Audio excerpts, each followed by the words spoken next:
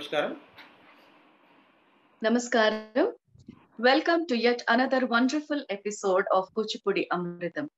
Kuchipudi Amritam is being organized by Kuchipudi Kala Kendram Vishakhapatnam under the able guidance of Kalaratna Guru Srimati A.B. Bala Kondalarao Garu.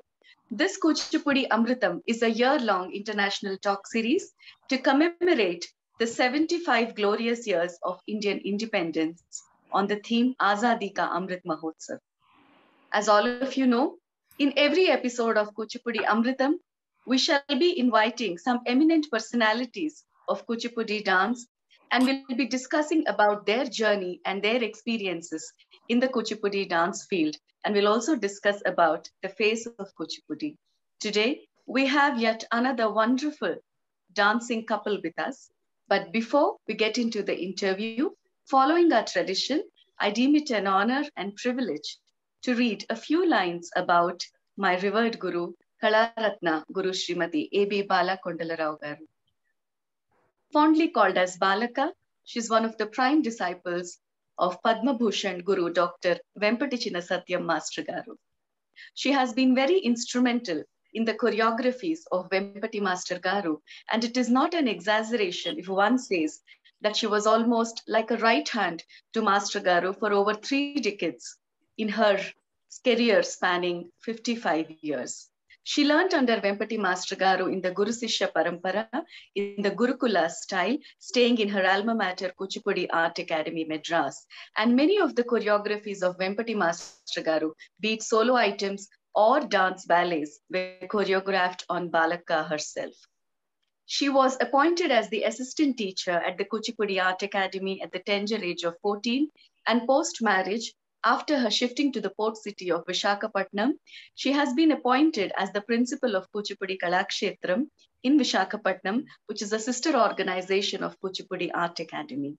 In the year 1997, Balaka established her own dance academy, the Kuchipudi Kala Kendram, and in her career spanning 55 years, she has trained thousands of students who are well-known performers, gurus, researchers in dance.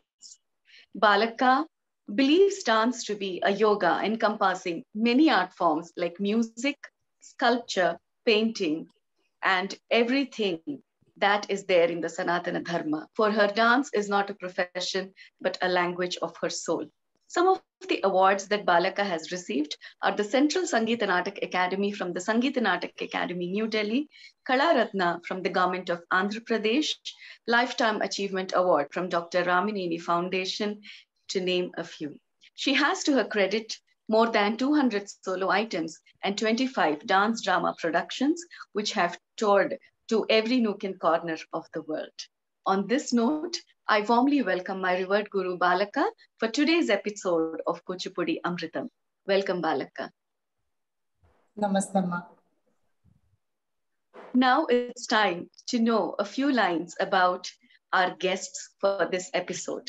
Padma Shri Guru Jayarama Rao Garu and Vanashri Rao Garu. Jayarama Rao Garu and Vanashri Rao Garu are known today as one of the foremost gurus and performers of the Kuchipudi style, and they have extended the Kuchipudi repertoire, enriching it with contemporary choreography. Belonging to a family of traditional artists of Andhra Pradesh, Jayarama Rao Garu was trained from his childhood in the traditional Guru Sishya Parampara and trained under eminent gurus. He graduated from the Siddhendra Kala Kshetra and later trained under renowned Guru Dr. Vempatichina Satyam Master Garu. His arrival in Delhi to open a Kuchipudi dance school and that has created a history in the Kuchipudi pantheon and he has trained innumerable students in this art form. And some of the prominent students are Swapna Sundari, Minakshi Sheshadri, and Vanashri Rao, his wife and dance partner, and many others. As an outstanding artist of ICCR, he and his wife, Guru Srimati Vanashri Rao Garu, have traveled over 60 countries under government and private sponsorships. Some of the awards and recognitions that these dancing couple have achieved are the Padma Shri Award, central Sangeet Natak academy award the Delhi state award Natyaratna award Indira Priyadarshini award to name a few on this note I request Balakka to warmly welcome the guests for today Balakka over to you నమస్తే రామారావు గారు and Vanasri గారు ఈ ప్రయాణంలో ఇప్పుడు వస్తున్న young జనరేషన్స్కి మీ ద్వారా ఎన్నో విషయాలు పంచుకోవాలనేది నా ఆశ. అందుకోసంగా పూజపుడి కళా కేంద్రంతో పాటు ఈ సిరీస్ ఫాలో అయి చూస్తున్న వాళ్ళందరూ కూడా చాలా ఆతృతగా మీరు చెప్పబోయే అమృత వాక్కుల గురించి మీ ప్రయాణం గురించి ఈ కూచిపూడిలో వాళ్ళు తెలుసుకోవాల్సిన మెలుకుల గురించి చాలా ఆతృతగా ఎదురు చూస్తున్నారు Thank you, Balaka. I request Aditya also to invite our guests for today. నమస్కారం అష్కారు అమ్మా నమస్తే నమస్తే It's very honor to invite you for our Kuchipudi Amritam series. We are eagerly waiting for your wonderful life journey from your phrase to today's phrase. And we are very, very happy to invite you once again and please share all your experiences. Thank you. we are very happy to uh, participate in this uh, occasion. Kuchipudi కళా కేంద్ర ఆ, బాలకొండలరావు గారు తర్వాత అబ్బాయి తర్వాత అమ్మాయిలు ఎంతో కృషి చేస్తూ మా ఈ కూచిపూడి కళని పై ఇంకా పైకి తీసుకురావాలని ఎంతో మీరు కృషి చేస్తున్నందుకు తర్వాత మాలాంటి సీనియర్ ఆర్టిస్టుల్ని ఇన్వైట్ చేసి ఈ కూచిపూడి అమృతం అని చెప్పేసి ఒక సిరీస్ని మీరందరూ కలిసి అంటే ముఖ్యంగా కుటుంబం అన్నమాట. మీ కుటుంబం కలిసి ఈ విధంగా చేస్తున్నందుకు నిజంగా చాలా సంతోషకరమైన విషయం ఇది. So my sincere thanks to master గారు మీ కుటుంబ నేపథ్యం గురించి మీ పూర్వీకుల గురించి మీరు మీ కూచిపూడి ప్రయాణం ఎలా మొదలు పెట్టారు మీరు కూచిపూడి నేర్చుకోవటానికి గల మీకు ఆసక్తి ఎలా కలిగింది అనేది మేము తెలుసుకోవాలనుకుంటున్నాం. మా తాతగారు మా నాన్నగారు ఆ తర్వాత మా కుటుంబం అంటే మా బాబాయ్ మేము మా వాళ్ళందరూ కూడాను actually artist family artist family అంటే ఆ స్టేజ్ నాటకాలు తర్వాత స్టేజ్ డ్రామాలు ఆ రోజుల్లో ఆ నా చిన్నతనంలో అంటే అరవై సంవత్సరాల క్రిందట ఆ రోజుల్లో ఆ నాటకాలు ఆడేవారు తర్వాత వీధి నాటకాలు అది కాకుండా కథలు చెప్పేవారు. ఇది ట్రెడిషన్ మాది. మా తాతగారి దగ్గర నుంచి వచ్చింది అనమాట యాక్చువల్లీ మేము ఒరిజినల్గా అంటే నేను వినటం ఏంటంటే మేము సేవాకాళ్ళు శివారాధకులం ఎక్కువ శివారాధకులు శివారాధన. అలాగున్న ఉండేవారు. ఆ తర్వాత అంటే నాటకాలు ఇవన్నీ డ్రామాలు ఇవన్నీ చేస్తుండేవారు. కాకుండా వీధి నాటకాలు ఇవన్నీ కథలు చెప్పడం ఇదంతా ఉండేది. అందుకని ఆ ట్రెడిషన్ అలాగే సాగుతూ వచ్చింది. అలాగే ఉండేది. నేను పుట్టింది పిఠాపురం. తర్వాత చిన్నప్పుడు స్కూల్కి వెళ్ళడం చదువుకోవడం అలా ఉండేది. అది కాకుండా మా నాన్నగారితో పాటుగా మా కుటుంబంలో ఉన్న సాంప్రదాయం ప్రకారంగా నేను కూడా నాటకాలు ఆడుతూ వేషాలు వేస్తూ తర్వాత చిన్నప్పుడు ఆడవేషం కూడా వేసేవాడిని. చిన్నతనంలో కూడా ఆడవేషం వేశాను అలా చేస్తూ వాళ్ళకి వాళ్ళతో పాటుగా సహకరిస్తూ ఉండేవాడిని. అలా అయిన తర్వాత నాకు పదకొండు పన్నెండవ సంవత్సరం అప్పుడు ఆ సమయంలో నేను వేదాంత సత్యనారాయణ శర్మ గారి ఉషా ప్రేణి బ్యాలే చూశాను. ఎక్కడంటే ఏలూరులో. ఆ ఏలూరులో మా చుట్టాలు ఉంటే అక్కడికి వెళ్ళడం తటస్థించింది. నాకు ఆ ఎవరు కూచిపూడి భాగవతులు వచ్చారు నాటకాలు ఆడుతున్నారు అనేసరికి మేమందరం పిల్లలందరం వెళ్ళి చూడటానికి వెళ్ళాం.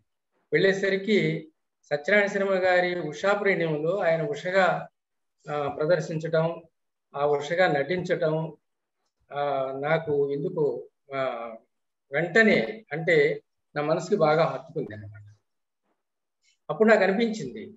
ఇప్పుడు మేము ఆడుతున్న నాటకాలు మా ట్రెడిషన్ మా త- మాకు ఉన్నది ఎలాగో ఉన్నది అది. కానీ కూచిపూడి కళ అన్నది ఒక సాంప్రదాయము. దా- దాంట్లో ఏంటంటే ఏమో క్లాసికల్ వే క్లాసికల్ వేగా నేర్చుకోవాలని తర్వాత నేను కూడాను అలాగే ప్రదర్శించాలని అని ఆ టైంలో నాకు అనిపించింది. అనిపించగానే మా ఇంట్లో నెక్స్ట్ డే అంటే మరుసటి రోజు మా ఇంట్లో చెప్పాను నేను ఇలాగ చూశాను నిన్న రాత్రి. ఆయన ఎవరు వేదాంత సత్యనారాయణ శర్మ గారట. కూచిపూడి నుంచి వచ్చారు. ఆయన చాలా బాగా చేశారు. ఆయనకి అప్పుడు జస్ట్ చిన్న వయసు అయింది. ఒక ట్వంటీ ఎయిట్ థర్టీ ఇయర్స్ ఉంటాయి సత్యనారాయణ శర్మ గారు. సో ఆయన చాలా బాగా ఆయన అసలు నేను ఆడపిల్ల అనుకున్నాను. అని నేను ఆయన్ని వర్ణిస్తూ చెప్పాను మా నాన్నగారికి మా వాళ్ళకి. చెప్పగానే వాళ్ళు అన్నారు నీ ఉద్దేశం ఏమిటి? కూచిపూడి వెళ్ళి నేను నేర్చుకుంటాను చెప్పాను సరే ఇంట్లో మనం అంటాం కదా ఒక ఏదో కోరు పెట్టడం.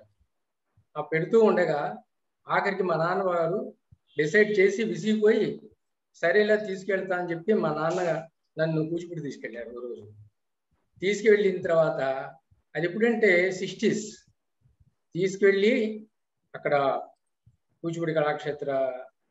నేను వెళ్ళినప్పుడు మన సిద్ధేంద్ర కళాక్షేత్రం ఉంది కదా అప్పుడు అప్పుడప్పుడే ఆ, సిద్ధేంద్ర కళాక్షేత్రం స్టార్ట్ అవుతుంది. తర్వాత అక్కడ పాకలు ఉండేవి. ఆ పాకల్లో కొంతమంది స్టూడెంట్స్కి నేర్పుతుండేవారు వాళ్ళందరూ. అదే సమయంలో నేను వెళ్ళడం తర్వాత మా నాన్నగారు అక్కడ ఆ, గురువుల్ని కలిసి వాళ్ళతో మాట్లాడటం నేను కళాక్షేత్రం వెళ్ళగానే అక్కడ నేను చూసినప్పుడు వాతావరణం అంతా వేరేగా ఉండేది. అంటే మగపిల్లలు కానీ ఆడపిల్లలు ఎవ్వరూ లేరు క్లాసులో ఓ పది పన్నెండు మంది పిల్లలు చేస్తున్నారు. ప్రాక్టీస్ చేస్తున్నారు. నేను నేను అటు చూస్తున్నాను అనమాట ఆయన చూ- ఆ వేళ ఆడవేషం వేసిన ఆయన ఎక్కడున్నారా? వేమ సత్యాన్ని శర్మ గారు ఎక్కడున్నారా? కానీ ఆయన అక్కడ లేరు. మిగతా టీచర్స్ ఉన్నారు. తర్వాత మా నాన్నగారు అందరు టీచర్స్ని కలుసుకొని చెప్పారు అక్కడ. ఒక కులగురువు గారు ఆయన ఎవరంటే చింతాకృష్ణమూర్తి గారు. తర్వాత వేద పార్వతీ సింగ్ గారు తర్వాత పసుమూర్తి వేణుగోపాల శర్మ గారు. చాలా మంది టీచర్స్ ఒక ఏడెనిమిది మంది టీచర్స్ ఉండి వాళ్ళు సరే అని చెప్పేసి మా నాన్నగారు మాట్లాడిన తర్వాత మా అబ్బాయి ఇలాగా కుతూహలంగా ఉంది.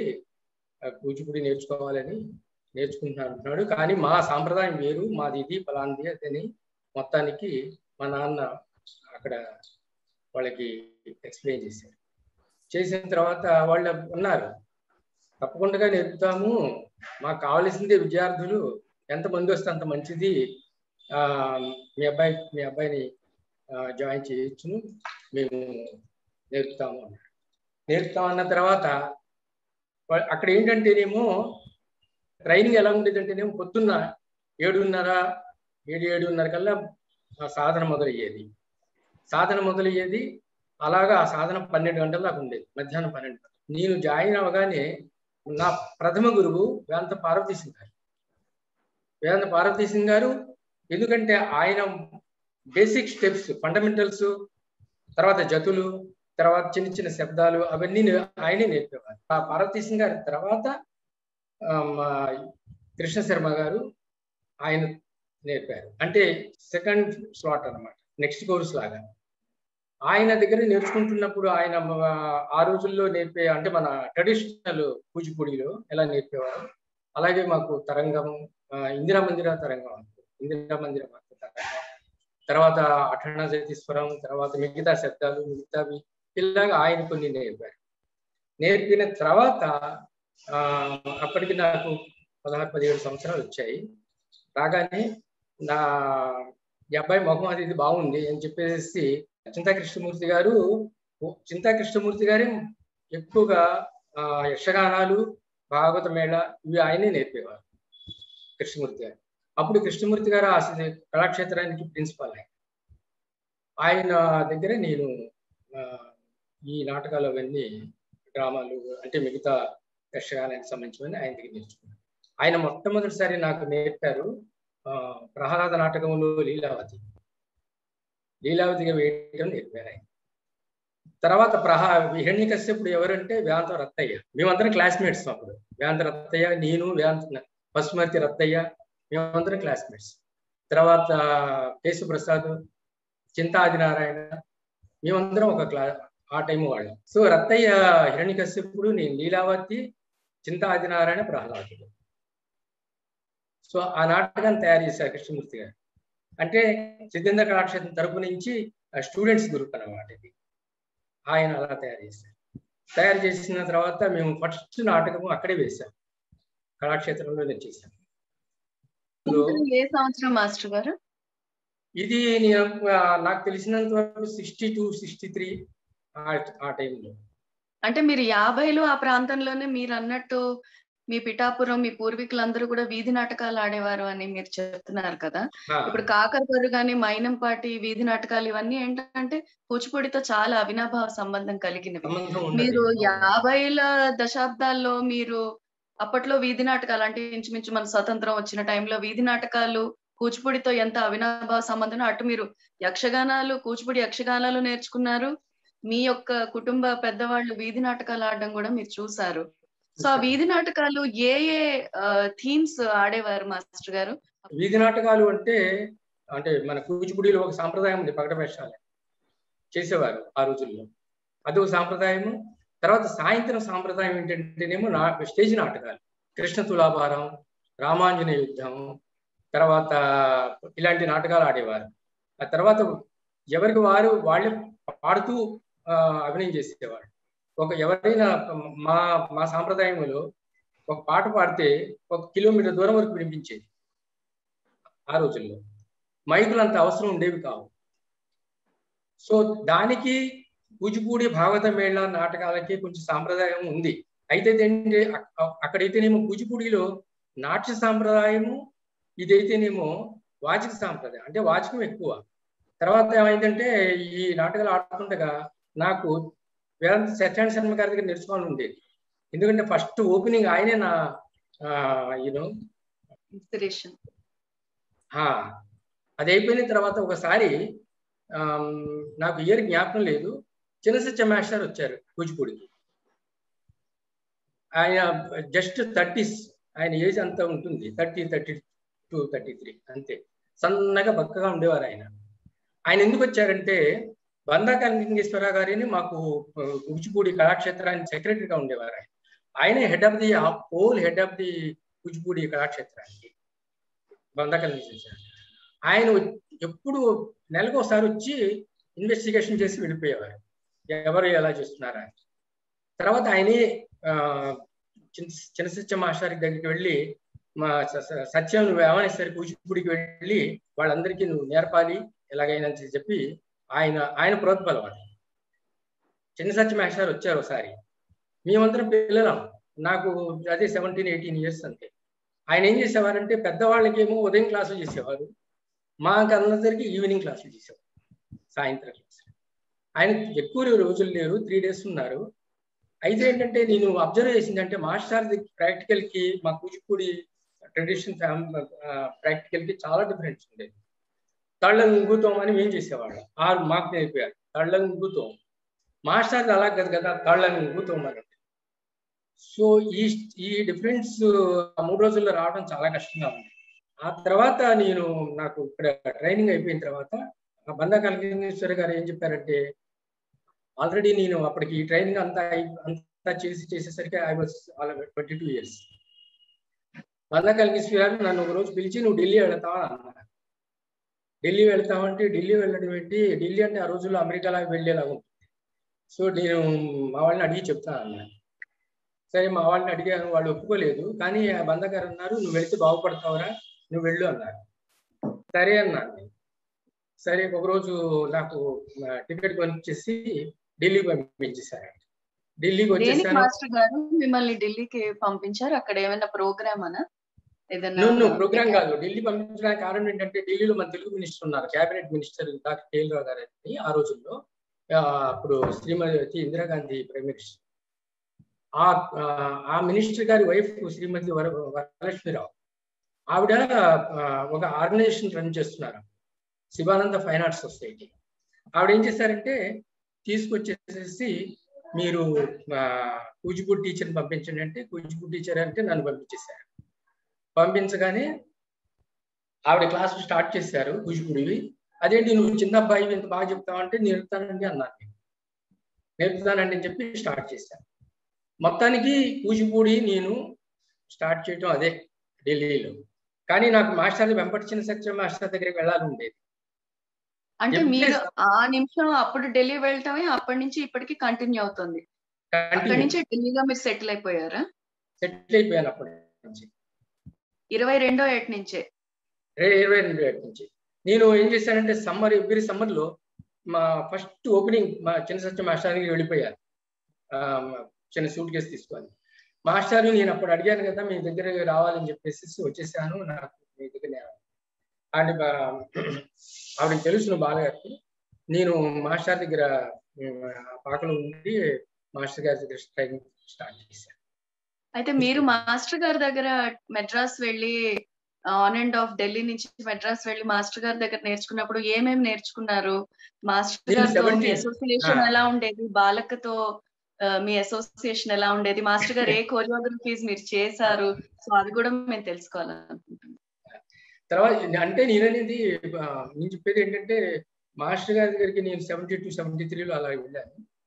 ఆ ఉన్నాను కానీ మాస్టర్ గారు పొద్దున్నే సీనియర్స్ తీసుకునేవాళ్ళు వాళ్ళు సాయంత్రం మిగతా జనరల్ క్లాస్ ఉండేది. ఆ, నేను కూర్చొని చూస్తుండేవాడిని.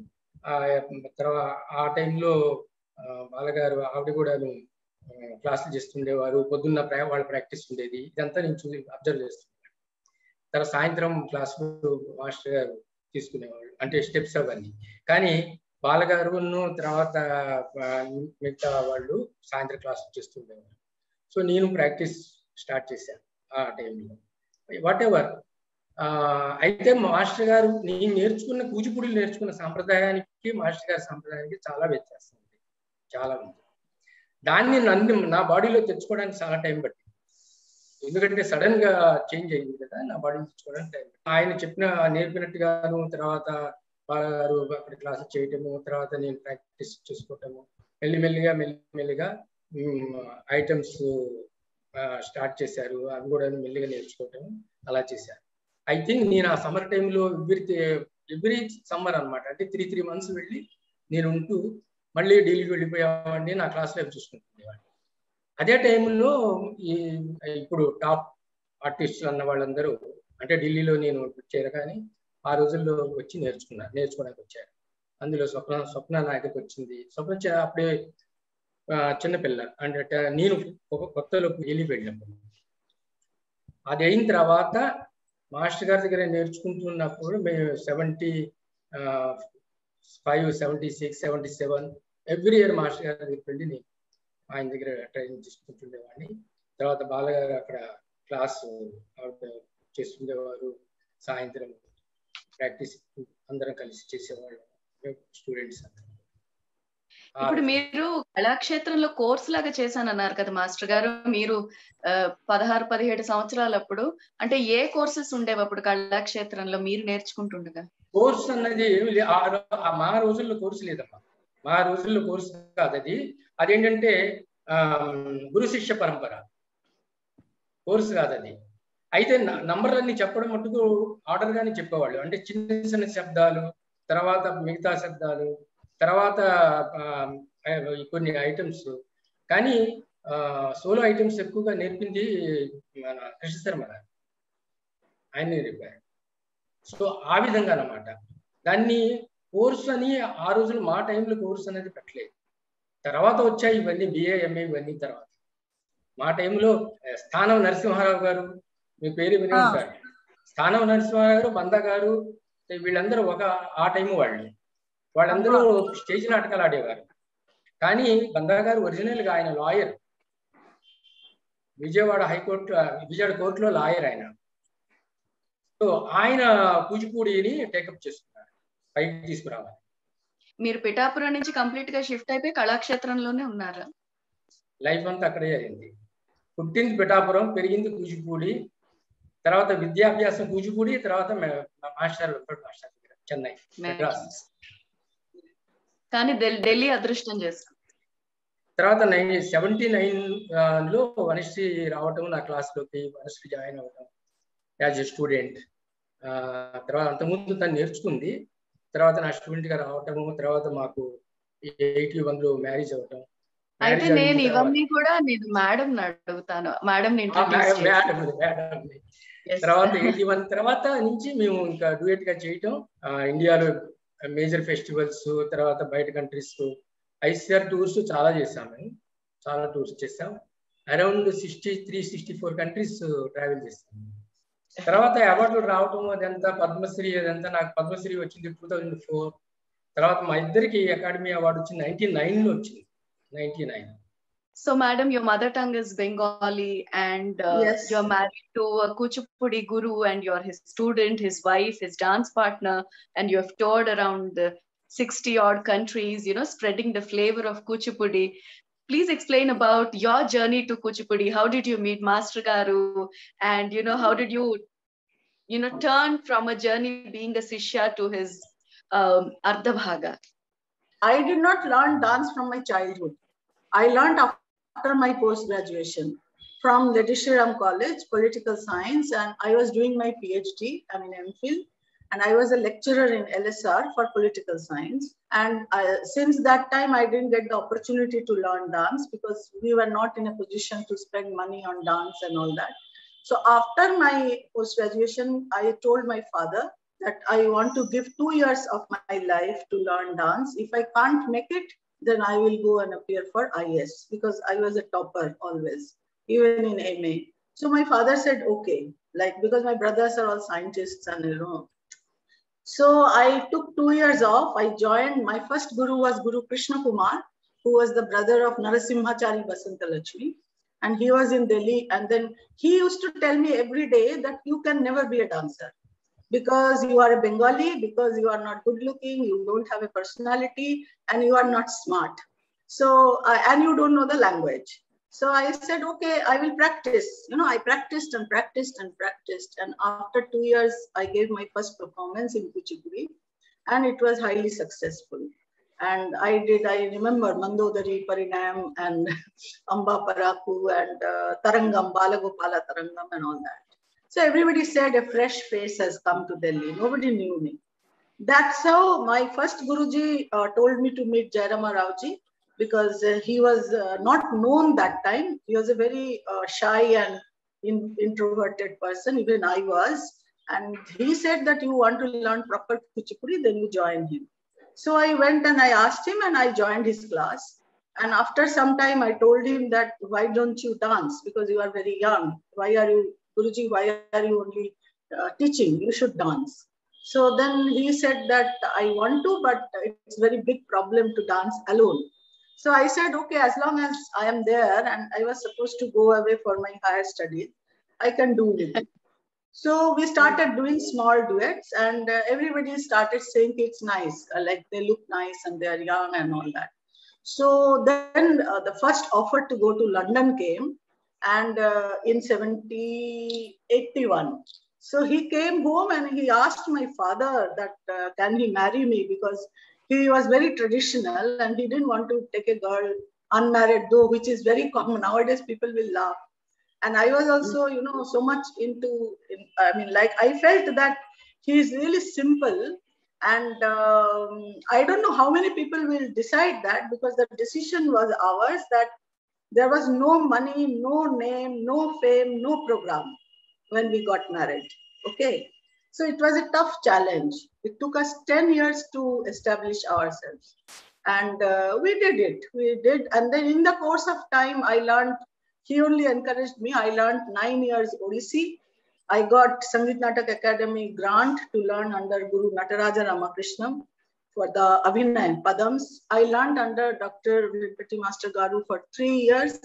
He was very fond of me and he really taught us, you know, very, very well trained us. And in 2016, I opened my own production house.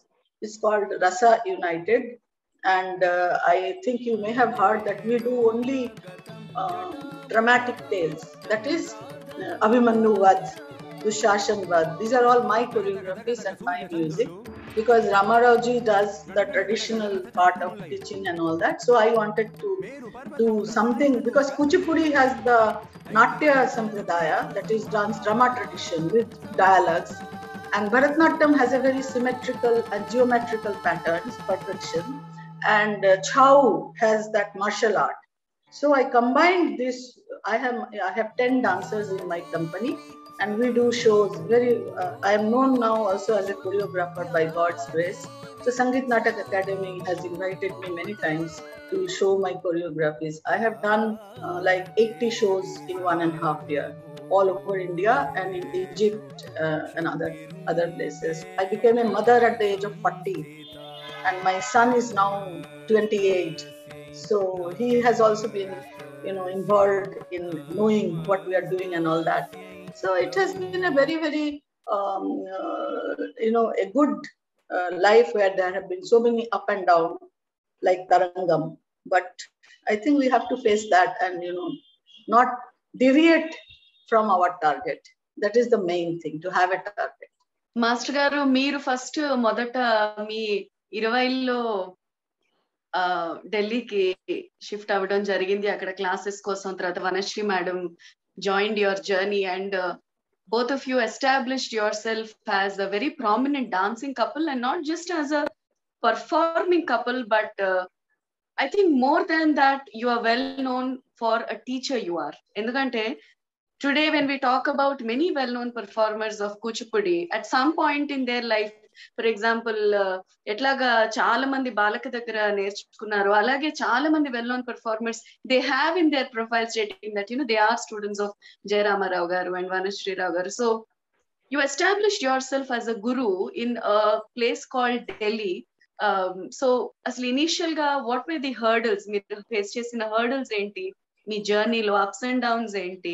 It was a desperate uh, thing for us because we did not want get, uh, uh, you know, towards a job. Like I was highly qualified to get a job anytime. So that financial crisis, but we wanted to be true professionals who are surviving only on dance and not on anything. And that was the toughest part because to get a program, you know very well. I don't know about South so much, but here and all in other cities, people don't want to pay. I mean, the young dancers are suffering, you know, because when a young dancer wants to dance and just to dance, how does she survive? The musician's fees, the uh, you know, the stage, the light, then it becomes very unprofessional if you don't have good lights or good lighting, good costume. It's all a very expensive affair. So the biggest challenge was how to set ourselves up so that we earn enough to survive. First was the survival. Then after 10, 15 years, we started regular programs and we have been to actually 65, more than 65 countries. So ICCR, you know, they have a gradation. Slowly we came up, then Doordarshan, then, you know, conferences, Speakmake. So every, that, that was the biggest challenge we faced to become solely professional artists in India. That is the toughest, I think. Because if you look at all the dancers, most of them are supported by something else.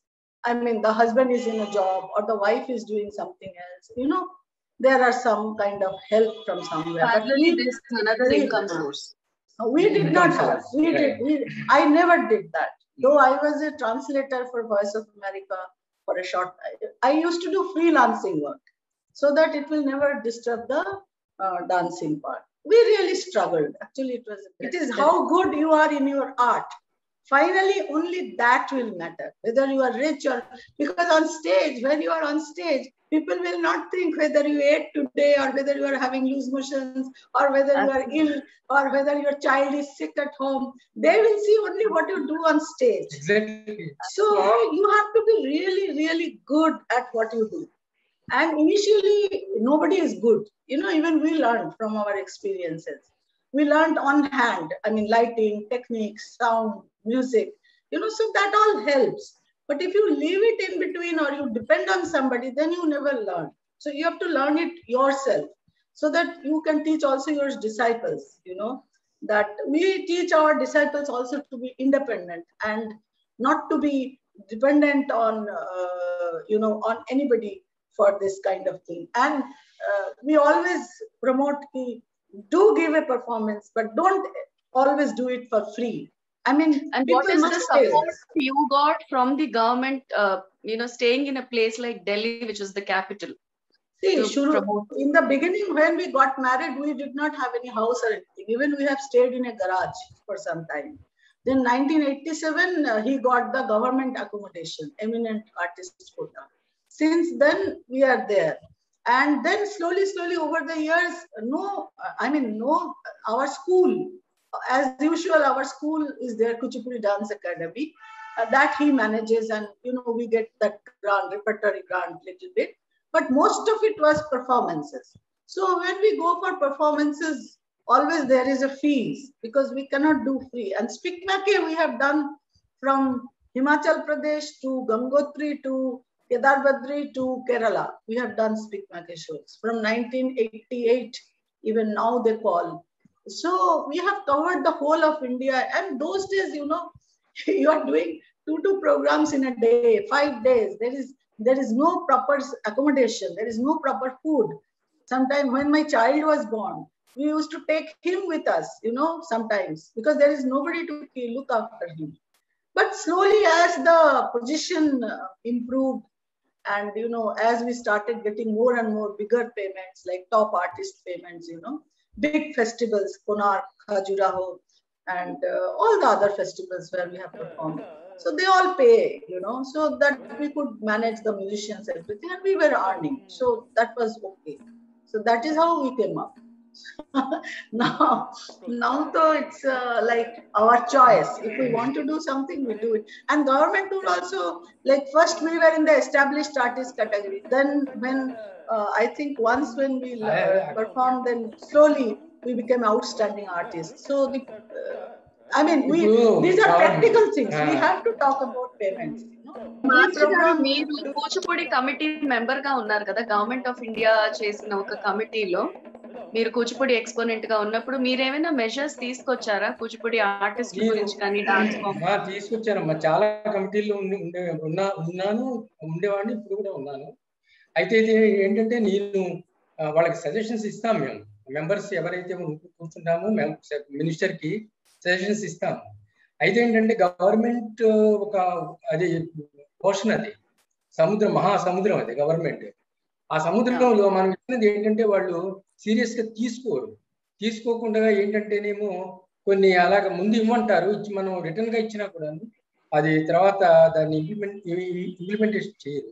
Implement చేస్తే బాగానే ఉంటుంది.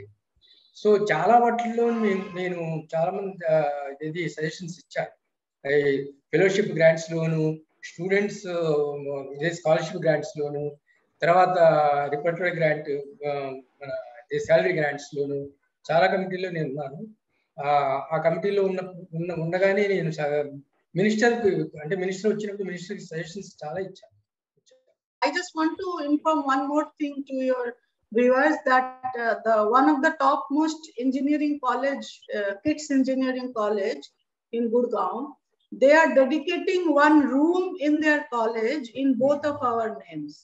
because see, we have got about 500 awards.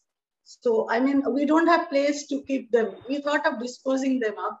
So they said they want to dedicate one room for life. In their music room will be dedicated in our name. And they are now making all arrangements to display those awards. So my worries are gone. And uh, yeah, a lot of things. We have faced a lot of struggle. We used to take lunch at 10 rupees ఇప్పుడు మనము వందల మందికి నేర్పితే real professionals ఇద్దరు ముగ్గురే తయారవుతారు. అంతే కదా? Mm. అవును. అందరూ. ప్రొఫెషనల్స్ అవరు ఎవరైతే. నేర్చుకోవడానికి రావాలనుకుంటారో ఒక వాళ్ళ యొక్క ఇంట్రెస్ట్తో కుతూహలంతో ఎవరైతే వస్తారో మన ధర్మం వాళ్ళకి నేర్పడం. వాళ్ళు ప్రొఫెషనల్ అవుతారా అని కాదు. That is the fate and వాళ్ళ లక్ అది. Master Garu and uh, Madam, what is the, of course, in the long talk that both of you have given and explained about your hurdles and the challenges basically that both of you faced, I think there is a lot of practical aspect that you added more than the aesthetic beauty that all talk about. Today, of course, the aesthetic beauty is accepted everywhere, but the practical realities have also you know they need to be digested for someone to continue their career for many decades and pass it on to next generations. And that the younger generation needs to understand more because the life has become a, a very fast life where people are really looking for results in a very quick way. So both of you as um, well-known and prominent teachers of this kuchipudi dance form what is the message that you would give to the younger generation of kuchipudi performers I do kalamkari work in my free time, and uh, it's not a business kind of thing, but it's my passion. But I developed it. I did side by side both. Like he knows how I have worked for that to make it successful. So if you want to do something, you can do it. There are no excuses. You want to do exercise, you want to make a six pack, you can do it. There is no age for it. It is all in your mind what you want to do. You set your priorities right and you try to you know do a job which you are good at and you earn some money, you practice, you get up six o'clock, practice for two hours, then go for your work. What is stopping you? Instead of sleeping for so two hours more, you just sleep two hours less. So that is my philosophy always, and I have followed that. ఇప్పుడు నేను చెప్పదలుచుకున్నది ఏంటంటే learning students కి learning students ఉండాలి అంటే మనం ఎలా నేర్పితే అలా నేర్చుకోవాలి వాళ్ళు. అంతేకాని కొంతమంది నాకు రెండు నెలల్లో స్టేజ్ ఎక్కించలేదు. మా గురువు గారు మాస్టర్ గారు రెండు నెలల్లో ప్రోగ్రామ్ చేయించలేదు. అలానే మా మాస్టర్ గారు ఏమో ఆయన నెల రోజులైన స్టేజ్ ఎక్కించేశారట అని ఇలాంటివి చాలా మంది చాలా చూసాము. కానీ స్టూడెంట్స్ ఏంటంటే వాళ్ళకి వాళ్ళ పేరెంట్స్ కూడాను చాలా నే- మనము గురువు గారి మీద వదిలేసాము మాస్టర్ గారి మీద వదిలేసాము. వాళ్ళు ఎన్ని సంవత్సరాలు చెప్పినా ఎన్ని నెలలు చెప్పినా వాళ్ళ ఇష్టం అది. సో మన అమ్మాయికి మనము మా అబ్బాయికి కానీ అమ్మాయికి కానీ మనము నేర్పి ఎంతవరకు నేర్పించాలి అన్నది పేరెంట్స్ ఉండాలి. తర్వాత నేర్చుకునే స్టూడెంట్స్ కూడాను ఆ కాన్సన్ట్రేషను తర్వాత ఆ ఓపిక వాళ్ళకి ఉండి తీరాలి. అంతేగాని మూడు నెలలకు నేర్చుకుంటాను నాలుగు నెలలు నేర్చుకొని నేను నా Ah. Uh, ah, uh, But uh, you know, if you think, why is Balaganu famous? Hmm. Why was uh, Manju Bhargavi or you know Shobha Naidu? Or if you talk about Kuchipudi, these are names you know people know. Yamini Krishnan. They all have something extra than what the Guru have taught. You see, that's what a Guru wants. That you are not a machine. You are not a duplicate. You are adding your own. That's why she is famous you know, because she has done her own way of dancing. You know, so when you see a person just doing uh, the imitation, then it is not. You have to have something of your own, even the same item, even the same raga, you know. So that is also another trick the artist should develop. That how do they add their own personality to the dance? Thank you so అన్నయ్య గారు much. మీ తోటి మళ్ళీ ఒకసారి చిన్నతనంలోకి కూచిపూడి ఎప్పుడో చింత చింతా కృష్ణమూర్తి గారి టైంకి బందా కనకలింగేశ్వర గారి టైం అన్ని తీసుకొచ్చేసారు మళ్ళీ కళ్ళ ముందుకి మీరు నేను మాట చెప్పాలనుకుంటున్నా నేను ఆ, నేర్చుకున్న టైంలో చింతా కృష్ణమూర్తి గారి దగ్గర బందా కనకలింగేశ్వర గారి యొక్క ఇదేంటి సపోర్ట్ తర్వాత వేంద పార్వతీశం గారు. వీళ్ళ దగ్గర నేర్చుకున్నాను అంటే నిజంగా నా పూర్వజన్మ సుకృతం ఆ రోజు. అదే అన్నమాట. ఎందుకంటే ఆ, తర్వాత జనరేషన్ వాళ్ళు చాలా మంది వాళ్ళని చూడలేదు. వాళ్ళ. దగ్గర ట్రైనింగ్ తీసుకోలేకపోయారు. See, I will give you the correct example. He is a South Indian uh, Telugu. He did not know a word of Hindi. And I am a North Indian Bengali. He did not, he is a vegetarian, pure vegetarian. I was a fish eater, okay? He, he, he did not talk at all. I was a talker. So, like, we were completely different. But what was the common bond? The art. Yes. So yes. art has got no boundaries. Like you have to be a South Indian only. Then to all the Telugu girls will be perfect Kuchipudi dancers, but they are not, you know. This so, is only a the artist family, Vasudhaika Kutumbam. Wherever, wherever, okay. there is yes. no boundaries, as you said, no, no limits. No భాషా భేదాలు ఖండాంతర భేదాలు దేశ భేదాలు ఏ కాలం నాడు కళలు పుట్టినాయి అంటే ఇవన్నీ దాంట్లో పొందుపరిచి ఉన్నాయి కాబట్టే కాబట్టి ఈ రోజుకి కళలు నేర్చుకున్న వాళ్ళు బాగుపడుతున్నారు తప్పిస్తే కళలు మనం కాపాడాల్సిన అవసరం అక్కర్లేదు. అది నేర్చుకుంటే మనం కాపాడబడతాం వాటి ద్వారా. మాకు చాలా సంతోషం పార్టిసిపేట్ చేసినందుకు మీరు చేస్తున్న కృషికి సో అది ఇంకా ముందు తరం వాళ్ళకి కూడా చాలా ఉపయోగపడే వర్క్ మీరు చేస్తున్నారు. అది చాలా మీలాంటి వాళ్ళందరి ఎక్స్పీరియన్సెస్ ఇప్పుడు యూత్ మెంబర్స్ అందరికి అందించాలనేదే నా తాపత్రయం. ఆ?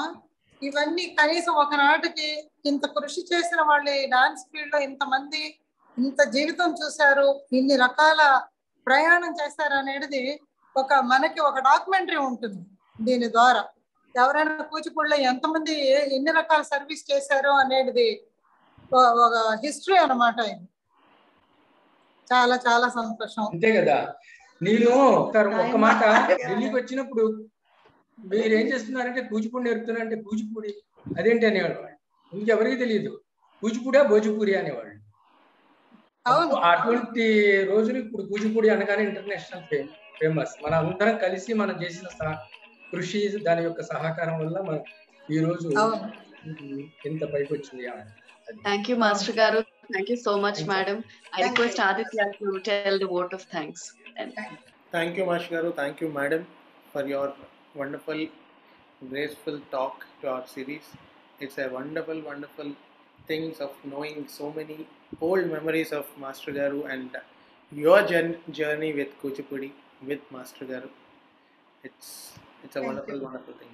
Thank you, thank you. Thank you Thank And all the best to, All the best. to all of you for promoting this art form so well and keeping the tradition alive. So మనందరం మేము మనందరం కలిసి మనం మేము చేసాము బాలగారు చేశారు అందరం కలిసి చేసాము ఈ తర్వాత జనరేషన్ మీరన్నమాట ముందుకు లీడ్ చేయాల్సిన వాళ్ళందరూ so this was a wonderful session of Kuchipudi Amritam that I should say. Earlier, when they were dancing couple or when they were any other couple in the same field, uh, you know, the common question that people ask is, is it an arranged marriage or a love marriage? But today, after listening to the talk of uh, Jairamaro Master Garu and uh, Vanashri Madam, I think this uh, terminology is coming to me. I think I should put this on record that not a arranged, not a love, but a beautiful marriage of art and aspiration. It is an art marriage that has happened. And that has made the Kuchipudi spread its wings more wider, not just India, but the entire world. And as how Master Garu said, from the time when he heard, oh, Kuchipudiya, oh, Bhojpuriya, and to today, when it's not an exaggeration if we say that every city, every town, and every village has a Kuchipudi artist, has a Kuchipudi dance school, no matter whatever the level of the proficiency be. Uh, everyone cannot be uh, great performers or great teachers, but still the flavor of Kuchipudi, the name of Kuchipudi is being heard in every village, every town, every city, every country, and every continent. And that is just happened post independence in these uh, couple of uh, decades. Uh, so this is something which is a breakthrough to a dance form called as Kuchipudi that started as a dance drama tradition. And we are so thankful to Jairamaro Master Garu and Vanashri Madam because every episode when we talk about dance it is about the stories or it is about the beauty or it is about the performances but something that the youngsters need to know is the perseverance the tireless effort and the aspiration and the inspiration for them to wake up every day and remember for who they are dancers is very important. And having the financial and mental stability and balance to continue this art form and pass it on to the next generations is very important. And that is when after 200 years when none of us will be there but still kuchipudi will be alive thank you so much master garu and vanashri madam for um, giving your valuable talk and insights about kuchipudi. And thank you so much balaka for being with us today. Today, I should say that the viewers of this particular episode are truly blessed, especially the youngsters, because the youngsters have to understand that it is nothing but practice and perseverance that can keep them alive and their dance form alive for the coming years to come. Until we'll all of us meet in the next episode of Kuchipudi Amritam, stay tuned to our channel and stay safe. Namaste. Kuchipudi Amritam, Kuchipudi Nizanga Amritam. Thank you. Thank you. Thank you once again. Namaste.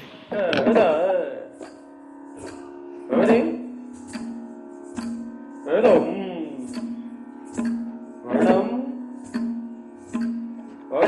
குந்தரை கிட்டத்தக்கத தம் நம் சக்குந்தர் கிட்டத்தக்கத தம் நம் உலக்குந்தர் கிட்டத்தக்கத தம் நம் கிட்டத்தக்கத